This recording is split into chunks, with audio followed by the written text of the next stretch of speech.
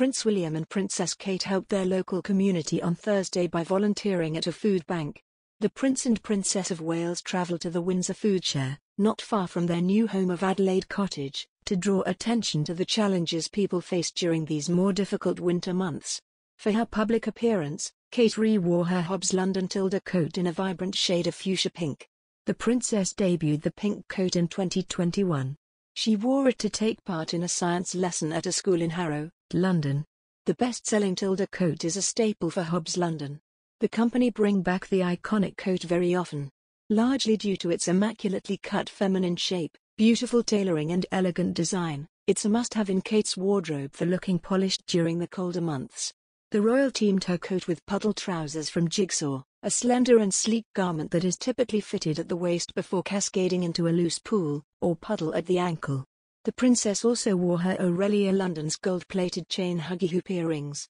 However, Fans do not need to head to Hobbs London to purchase the coat, because luckily, the coat has just landed in the Marks & Spencer's seasonal sale.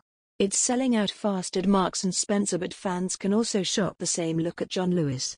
The coat costs a whopping £179 in the Marks & Spencer sales, after originally costing £299. Royal commentators think Kate Middleton's matching polo neck jumper and coat could be a sartorial dig at Meghan Markle.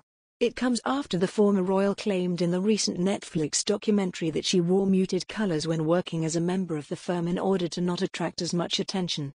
Meghan said in the Netflix documentary. To my understanding, you can't ever wear the same color as Her Majesty if there's a group event, but then you also shouldn't be wearing the same color as one of the other, more senior members of the family. So I was like, well, what's a color that they'll probably never wear? Camel? Beige? White? So, I wore a lot of muted tones, but it also was so I could just blend in. Like, I'm not trying to stand out here. So there's no version of me joining this family and trying to not do everything I could to fit in. I don't want to embarrass the family. Kate's brunette hair was styled in her signature vampy curls, framing her delicate features. As for makeup, the princess opted for a soft glam look consisting of neutral eyeshadow and some mascara, and also some blush. Kate, Princess of Wales has stepped out wearing a new shade of lipstick recently. It spoke exclusively to Sarah Amelia Fogg, celebrity makeup artist and owner of award-winning brow brand Brows by Sarah about Kate's subtle makeup change. Kate tends to opt for a pop of pink that isn't too in your face. She tends to choose a subtle shade of pink that complements her skin tone perfectly without drawing too much attention away from the rest of the face of makeup. Kate is a huge trendsetter, and no doubt will influence the makeup industry with her new pink lip color. As for whether anyone can wear pink lipstick, Sarah said, I've always said that pink lipstick is the hardest shade to pull off. There are so many variations and tones of pink that it's difficult to even know where to start.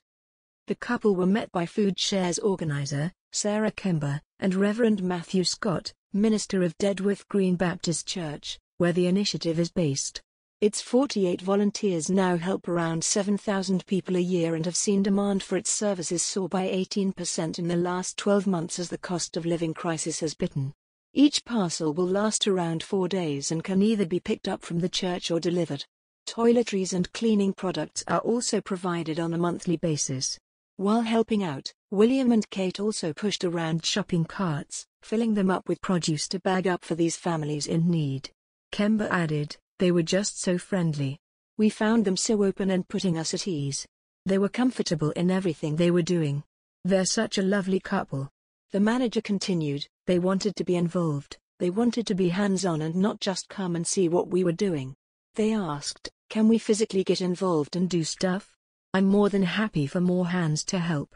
The pair also teased that they could return in the near future. Kember said, they've been invited, and if I'm short of volunteers, I know where to go. And if I'm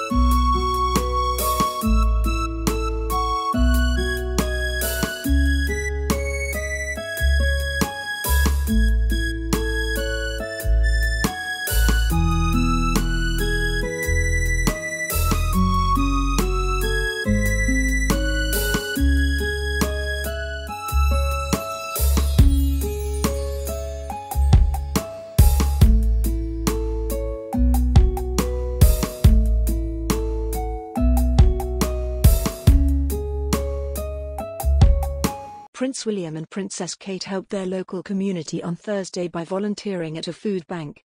The Prince and Princess of Wales travelled to the Windsor Food Share, not far from their new home of Adelaide Cottage, to draw attention to the challenges people face during these more difficult winter months.